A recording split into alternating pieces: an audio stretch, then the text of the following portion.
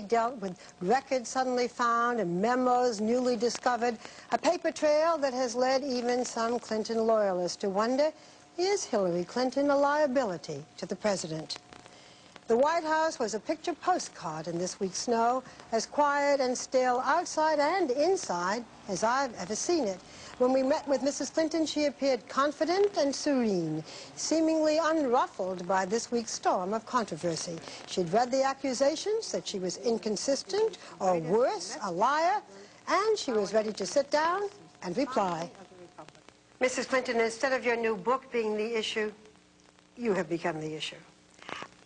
How did you get in this mess where your whole credibility is being questioned? Oh, I ask myself that every day, Barbara, because it's very um, surprising and uh, confusing to me. But we've had questions raised for the last four years, and eventually they're answered, and they go away, and more questions come up, and we'll just keep doing our best to answer them, and hopefully it'll end at some point. Are you distressed? Occasionally I get a little distressed, a little sad, a little angry, irritated. I think that's only natural, but I know that that's part of the territory, and we'll just keep plowing through and trying to get to the end of this.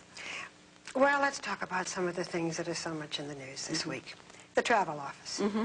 Mm-hmm. Last week, a 1993 memo by a former White House aide, David Watkins, was made public in which he says that you were responsible for the firing of seven people in the White House travel office because you wanted to have an Arkansas uh, travel agency take its place. And there would have been nothing illegal about your doing that. But you have said you had no idea how the decision was made and that you had nothing to do with it.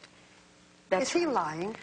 Well, I think what is fair to say is that I did voice concern about the financial mismanagement that was discovered when the president arrived here in the White House travel office. I think that everyone who knew about it was quite concerned and wanted it to be taken care of. But I did not make the decisions. I did not direct anyone to make the decisions. But I have absolutely no doubt that I did express concern because I was concerned about any kind of financial mismanagement. So is it a question of how much concern? I mean, it, it, when you say you had nothing to do with it and he says you had everything to do with it, mm-hmm.